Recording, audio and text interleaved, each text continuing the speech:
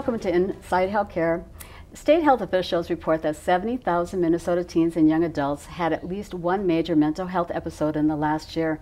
Joining us is a Twin City psychologist to talk about mental health crisis here in Minnesota and what's being done to address this public health issue. So we're very pleased to have with you Dr. Lou Zeidner with mHealth Fairview, and your title is um, System Director for Clinical Triage and Transitional Services. So really an honor to have you on the show. Well, thanks for having me. Quite an important topic and things like that. Sure. I think before we started, I was saying how it seems like I'm running into a lot of people that COVID, what second summer in a row, is still around. People are getting sick. People are anxious. They're stressed, depression, and things like that. So, um, what would be some of these symptoms that people might be experiencing, and what would be some ways to reduce some of that anxiety and stuff?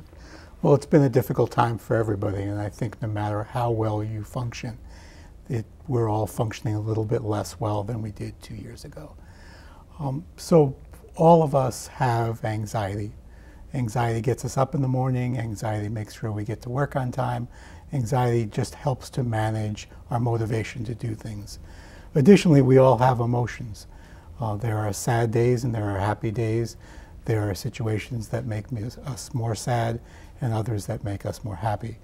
Uh, so having a range of emotions, having a range of anxiety is totally normal. Uh, for all of us, there are situations that make that worse. Uh, a car stops suddenly in front of us, we get more anxious, and we feel our heart pounding, etc. Um, and so we all have a range of those symptoms, and the real the question is, have those symptoms started to interfere with our abilities to do day-to-day activities, to work, to have relationship, to, to be in family, to do whatever we normally do that it brings us enjoyment. And when those things start to interfere, that's when we tend to want to seek out some support or some help um, from medical professionals. The realities of the pandemic is that all of us are more anxious today than we were in 19, 2019. Uh, all of us are a little bit more sad, a little bit less functional, a little bit more isolated than we were. And the question is, how do we get back to feeling more normalized? Uh, it's difficult because the pandemic doesn't feel like it's over. No, it just seems like it's never going to end. And in that context, the question is, um, everybody has their normal level of functioning, um, and how much room do we have uh, for the stress of the pandemic and everything that goes on with that pandemic. Uh, so one of the things that the pandemic has done is it's made more people more isolated. And one of the things that improves how we feel is when we socialize more, when we interact more with loved ones, with na uh, neighbors, family, etc. Um, so the isolation has created more of that. Uh, for a while, our schools were closed or they were intermittently closed, uh, and some of the support that our kids had from school uh, was diminished. Um, additionally, a lot of the services in our community closed down for periods of time. Uh, some people stopped doing the work. Uh, other people closed their offices for periods of time. Uh, so resources were less available. All of those things, I think, have led to what we kind of um, euphorically call um, some form of um, crisis or, or mental it health crisis. It feels like a crisis. It really does. A public health crisis because it affects just about everybody, I think. Yeah. In various ways and things like that. So um, I know that um, the other thing, another thing that I, I'm hearing that there's a shortage of mental health beds as well. And some of it is that there's um, a shortage of hospital staffing and that um, there's the increased mental health crisis that's created challenges in the mental health beds, lack of beds and things like that. And I know for some people, and this happened personally for a family member, a, a nephew that had a mental health crisis and um, went to the urgency room and was there for days because there was not a bed that he could get into. Yeah. So fortunately, he finally got one. He's okay. You know, he got the treatment and care he needed. Um, so you say that having um, mental health patients go to an emergency room is is just not the best place for them to be. And why is that? It seems like it, there's health care, there's things. Why would that not be a good place? Sure. And so, just to be clear, if someone is in desperate straits and someone is feeling unsafe, um, the emergency department is the right place to go. Uh, so I would never want to say don't go to the emergency department. That is the right place to go if someone is unsafe or feeling scared, uh, etc.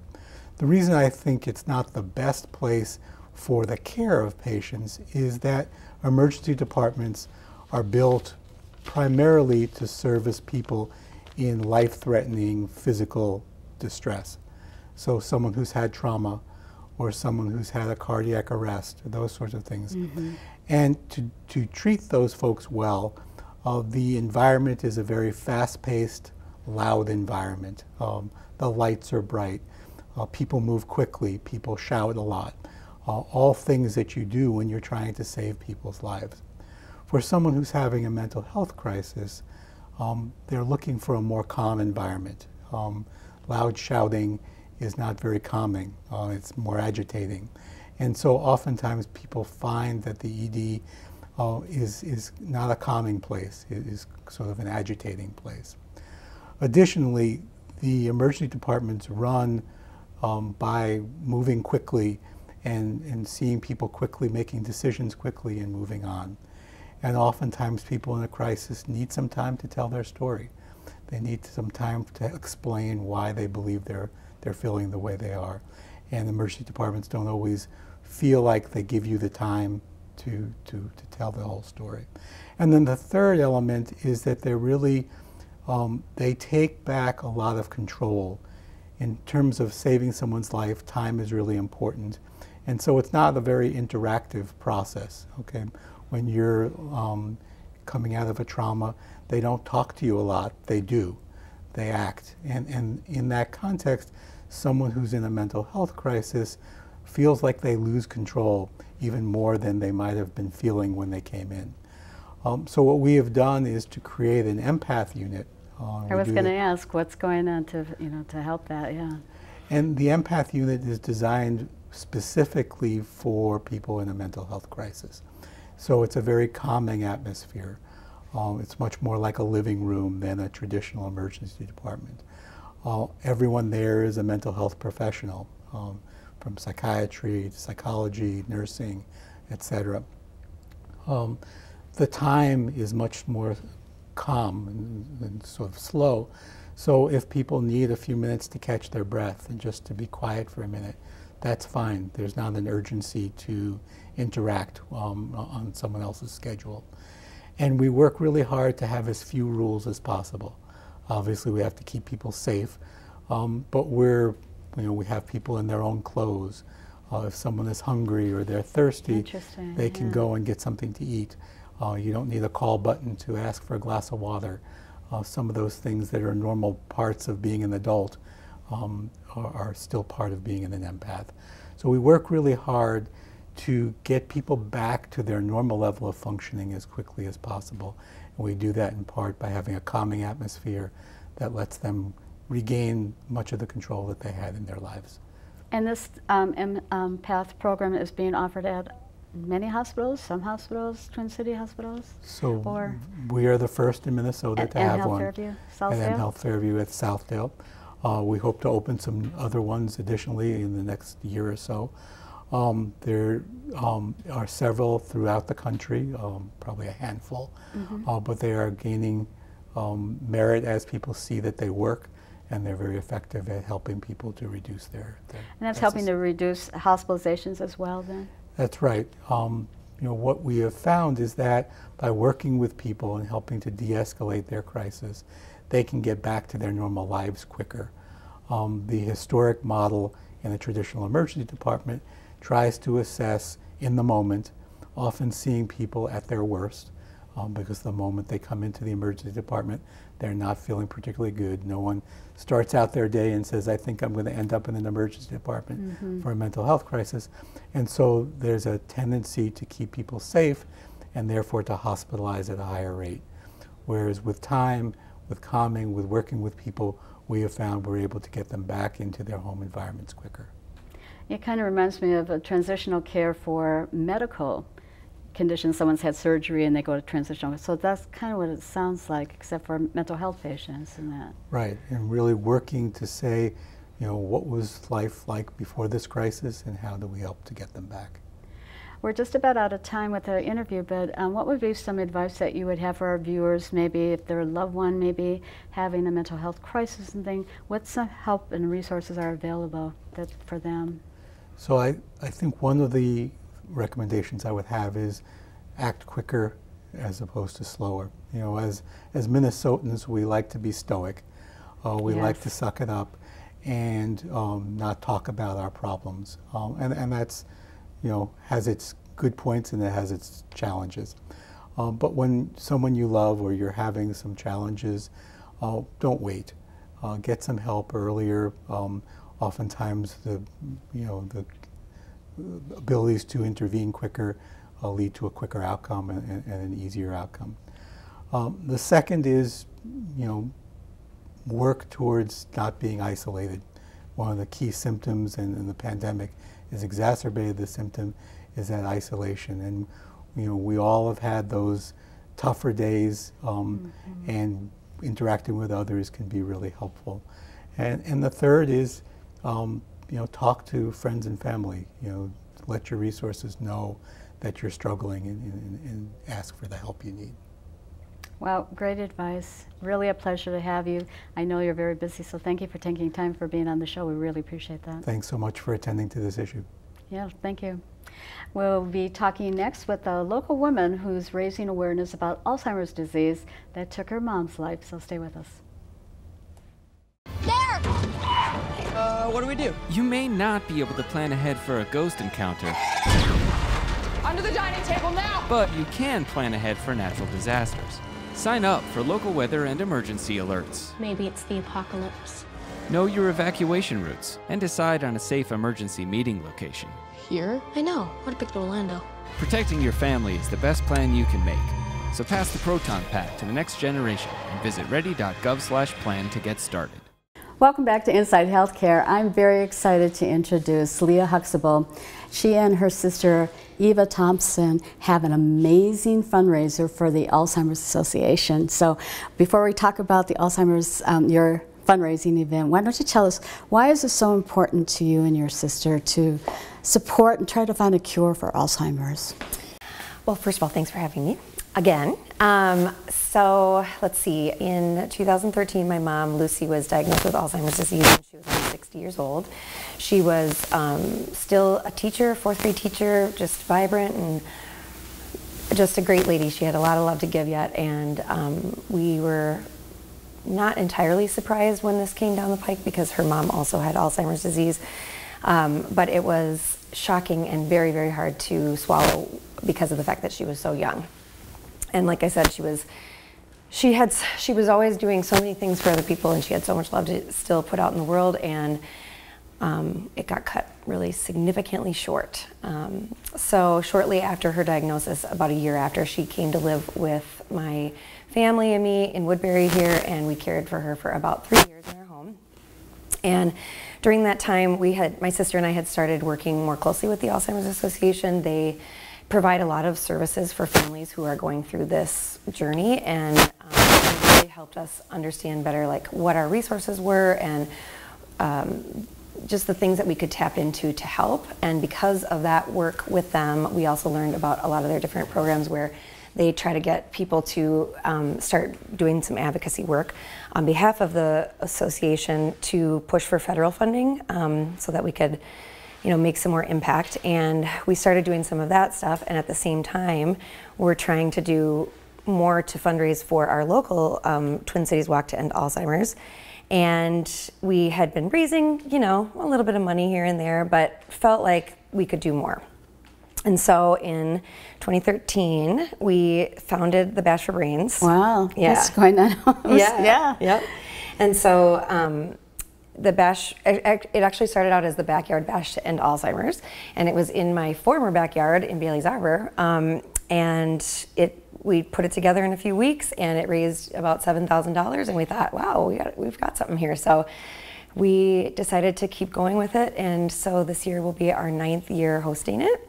Um, And a little And- COVID in between there. yeah, we had one year off. We say we say this is the ninth, should be tenth um, bash this year. But anyway, we just you know we, we like to throw a party, and it it was a way that we could you know bring more light to the disease. So many people have someone that they know who are affected, and um, it's you know it's just one of those things. It's it needs to go. It's just a really really life robbing disease. So.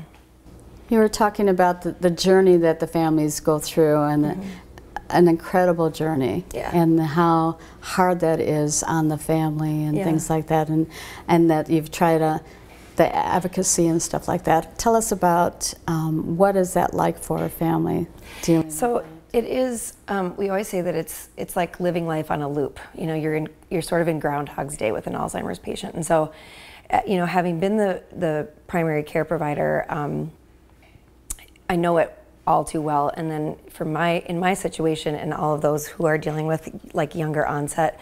Um, parents with younger onset Alzheimer's were all, were often kind of sandwiched between childcare as well. So my kids were really little at the time.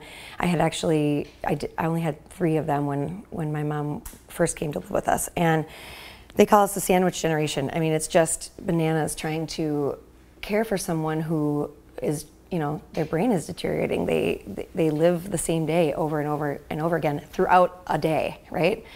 Um, and so, unfortunately, and luckily for me, you know, I was young and you know have had great support through the community and my friends and the rest of my family. But for most people, they're caring for an Alzheimer's patient when they're older. They um, have a really hard time finding the support that they need, and it is exhausting. And often, I just can't imagine I just, it's just, it's so so hard on the care provider. Um, in fact, th- there are lots of there's statistics out there, and I don't know what the percentage is, but a very high percentage of care providers for Alzheimer's patients die before their patient because of, you know, the fatigue, the stress, and then the onset of disease that comes from all of that. Um, it's it's it's devastating to a family. So, talking about your mom with the uh, younger age developing Alzheimer's, I think people are surprised that, uh, you know, people as they age not necessarily are going to get Alzheimer's, but there's um, 80, 99,000 people in Minnesota are living with Alzheimer's age mm-hmm. 85. Mm-hmm. But yet there's surprisingly a number of younger people, mm-hmm. younger, age 45 and younger, being diagnosed with Al- and living with Alzheimer's here in Minnesota. People are surprised by that. It's shocking. I mean, we've, like I said, um, you know, through the Alzheimer's Association, we've been able to really, you know, get all, all kinds of great resources. But the biggest one has been the people who we can connect with that are dealing with the same issues and the, the same hardships. And um, it has been kind of mind blowing to, to meet some people whose journeys were even more atrocious than ours just because of the incredibly young onset that some people come you know come to the disease with. And um, there are so many different forms of dementia these that are you know constantly we're being kind of I don't know in contact with I guess. Lewy body dementia is one where they have you know physical and mental you know incapacity. And it's just awful it's just awful thing. So yeah it is shocking. And you know with my mom um, the that was the hardest part, right? Because her light went out so early. So So hard for you, but yet yeah, you feel like there's some hope Yeah. because of your ma- amazing fundraiser, Bash for Brains. yeah, yeah, um, yeah. We're I mean we're definitely hopeful. Um, f- from a federal level, the you know the Alzheimer's Association has helped to increase funding to the National Institutes of Health by hundreds fold um, over the last 10 years. They are making a lot more impact from a research perspective. And um, so, you know, when we, so we do the Bash for Brains now every year, and um, we are starting to raise a, a pretty significant amount of money. Last year we raised $110,000, which That kind of is blew our incredible. socks That off. is Yeah, incredible. Yeah. Um, we hope to do even better this year. And so, in addition to fundraising towards the Alzheimer's Association, which is significant money for them, but it's not, you know, the kind of money that changes the You are, though, one of the top ones here in Minnesota, right? You- usually are, Raising money for Alzheimer's, Yeah, yeah. yeah. But what we are also doing with the other half of the money with the Bash for Brain Bash for Brains is the Bash for Brains Fund, which is um, kind of handled for us fiscally by the Woodbury Community Foundation. They've been really pivotal in helping us grow the bash and be able to to start this fund. And the fund is specifically trying to help families who um, can't afford to have in-home respite care. Um, it's it was one of the things that was a saving grace for me when I was taking care of my mom. Um, having someone come in and just give you a few hours of reprieve from this sort of inundating um, you know, constant, like I said, living like life on a loop um, was huge for me. And luckily, our family was able to afford that. But so many families are not. So um, this year at the Bash, we are hoping to give four grants to families who are suffering Wow. um, in this community um, with the need for respite. And we were able to um, give our first grant last year to a woman who was dealing with it last, you know, during the time of the Bash last year. And she was so grateful. It, it kind of um, I mean, she's told me many times over that it changed changed um, her life, and so that's what we're hoping to be able to do this year. Uh, four grants, so that more people can just have the benefit of some rest, and it makes all the impact in the world. So. And your event's coming up in September? Yep, September 10th. Um, people can find more information about it at uh, bashforbrains.com. We actually started ticket sales on July 1st, and they are on an early bird special until July 15th. You get $15 off your ticket price. Um, the Bash is a super fun event. It's in my backyard, and we have um, live music. Dan Rodriguez is going to be playing this year. He is fantastic. Um, we have food trucks. Uh, that's all part of the ticket price. We have drinks and uh, these cute. Uh, the Fab Tap is going to be here again. They do like cocktails in this Airstream trailer thing. It's very very fun. We have a huge silent auction and um, it's a great time. So the bash is 6 to 11. It's an adults only event. um, and we hope people will show up because we're trying to make a difference and I think we will. This year we're really hoping for, we have a pretty big goal financially. So And if they can't be here, they can they can still get involved. Yep, they can donate online through thebashforbrains.com or they can still bid on the silent auction um, virtually as well. It'll all be online a couple days before the bash. So, yeah, we're excited. It's got to make you feel good though to be able to help other people that were in the situation that you and your sisters were in. your That's sister were in, yeah. That's exactly it. You know, when you know what it feels like, you know, what the day to day is like, what it, the impact that it has on the, it's, you know, we, we were talking about this the other night, my sister and I, um, we were up at the cabin for the fourth and all the grandkids were there and, you know, some of those grandkids my mom never even met. Um, and it, it's just it, that is the piece that is so heartbreaking. It's it's the little kids who are missing that grandparent um, love and patience, so much better than parents, um, and just exposure to her wisdom and her love. It's just it's so sad to me, and so we're hoping to be able to obviously eradicate the disease eventually to not have that be the case. But with regards to families locally, you know, it's just trying to make it a little better for people. So.